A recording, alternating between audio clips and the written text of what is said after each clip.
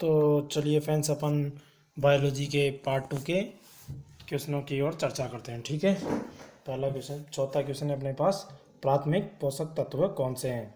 तो सर प्राथमिक पोषक तत्व जानने से पहले अपन को ये पता होना चाहिए कि प्राथमिक पोषक तत्वों से पहले वृद्ध मात्रिक और सूक्ष्म मात्रिक में बांटा जाता है इन पोषक के आधार पर। वृद्ध मात्रिक के अंदर कौन कौन से तत्व आते हैं? Carbon, hydrogen, oxygen nitrogen, calcium, magnesium, potassium और सल्फ़र आदि। और सूक्ष्म मात्रिक के अंदर कौन कौन से आते हैं फ्रेंड्स जैसे manganese, iron, nickel copper zinc, boron, chlorine और मोलिब्डेनियम। ठीक है?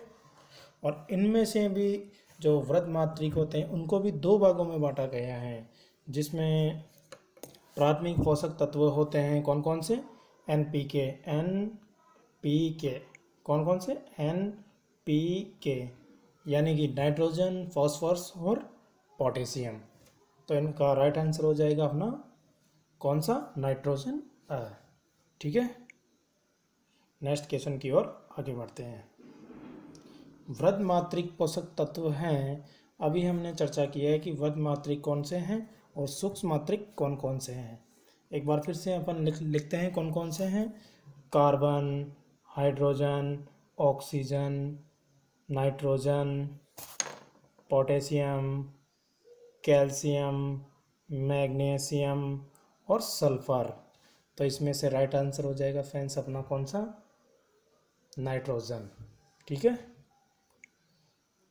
और अगला नेक्स्ट क्वेश्चन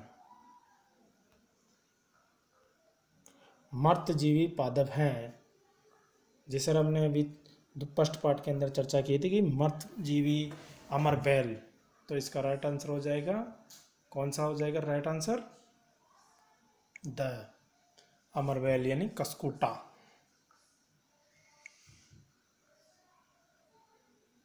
हमें भोजन की आवश्यकता होती है, ठीक है? ऊर्जा के लिए बिल्कुल सही, वर्दी के लिए बिल्कुल सही मरम्मत के लिए ये भी सही तो इसके राइट आंसर हो जाएगा डी सभी। ठीक है फ्रेंड्स और इसी तरह अपन और आगे बायोलॉजी के अच्छे अच्छे क्वेश्चनों की चर्चा करेंगे, इसलिए हमारे चैनल को लाइक करें सब्सक्राइब करें और शेयर करना ना भूलें। ओके धन्यवाद।